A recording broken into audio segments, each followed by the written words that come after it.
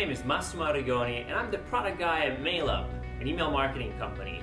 About a year ago, we looked at our application and we decided to take the email editor and launch it as a completely free website at beefree.io. Hundreds of thousands of people visited BEE Free and gave us a tremendous amount of feedback on what else they wanted to see in that editor.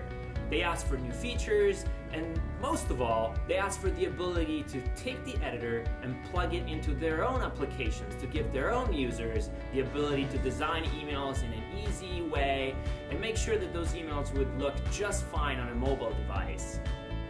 In this new version of our email editor, you will find a completely redesigned user interface and a number of new features. First of all, we added control at the row level. So email designers will now be able to assign different background colors and different properties to different rows within the email to visually separate different sections of the message.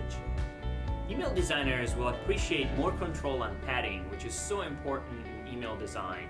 You can now control padding for individual sides of an element of content. For example, you can drag and drop an image inside your email and then individually easily control the amount of padding that's assigned to each side of that content element. To try the new version of the editor, you can visit beefree.io. That's B-E-E free.io. You'll find the completely free version of B and you can also sign up for the beta of the plugin.